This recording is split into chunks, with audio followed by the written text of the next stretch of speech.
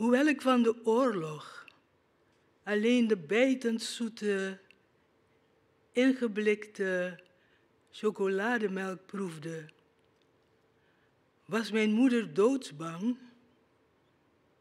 De reis per prinses Wilhelmina te maken vanwege het oorverdovende militaire materieel dat onophoudelijk boven de kust patrouilleerde en, zoals werd verteld, wel een verkeerd schip tot zinken bracht.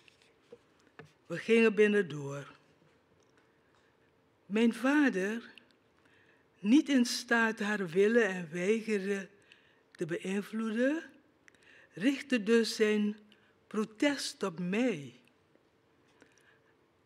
Als je per se in deze tijd naar je zuster moet, goed.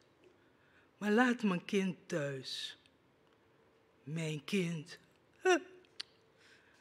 Schamper had ze gelachen en met ludieke koppigheid ons goed in twee aparte koffers gepakt. Met hoge wenkbrauwen had hij zijn leren dienstkoffer voor de dag gehaald, omdat de reizen met één koffer makkelijker zou zijn. Met geveinsde vriendelijkheid duwde ze hem die weer in de armen. Ieder een eigen koffer kwam haar beter uit.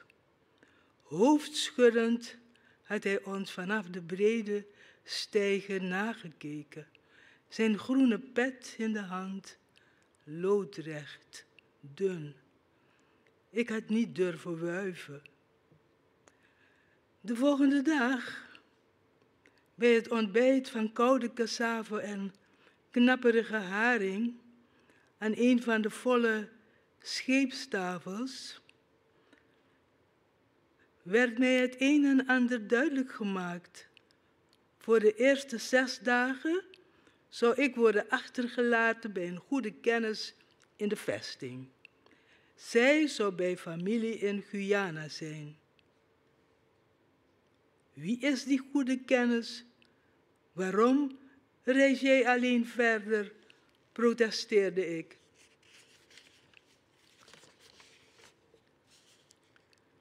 Ze keek naar me, zoals ze vaak naar haar echtgenoot had gekeken, met een blik van, wie denk je wel dat je bent?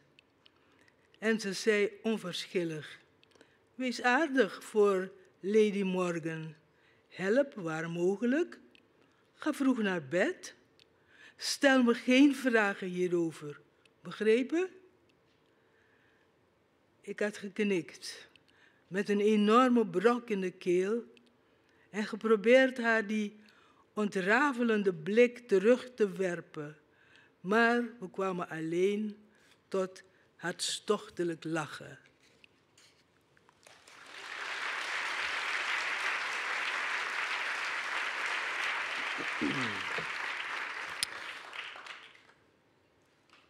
Although my only taste of the war was the piercing sweet flavor of canned chocolate milk, my mother was scared to death of making the journey on the Princess Wilhelmina because of the deafening military aircraft that continually patrolled the coast and, so it was said, occasionally sank the wrong ship. We headed inside. My father, unable to sway her towing and froing, focused his objections around me. If you absolutely must visit your sister at a time like this, so be it, but leave my child at home. My child, she cackled, and putting on a show of stubbornness, packed our things in two separate suitcases.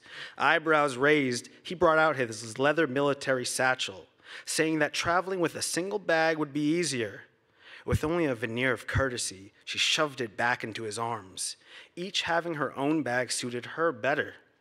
He shook his head as he watched us go from the wide pier, his green hat in hand, straight backed, thin. I didn't dare wave. The next day, over a breakfast of cold cassava and fried herring at a crowded table in the ship's mess, she made a few things clear to me. For the first six days, I'd be left with a close acquaintance in New Nickety. She'd be with family in Guyana.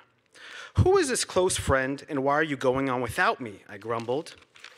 She looked at me the same way she'd often looked at her husband, with a who the hell do you think you are expression, and said coolly, Be nice to Lady Morgan.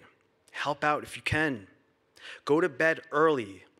Don't ask me any questions about this. Got it? I nodded with a giant lump in my throat and attempted to toss back as composed a look at her, but we only burst out into hearty laughter. Thank you.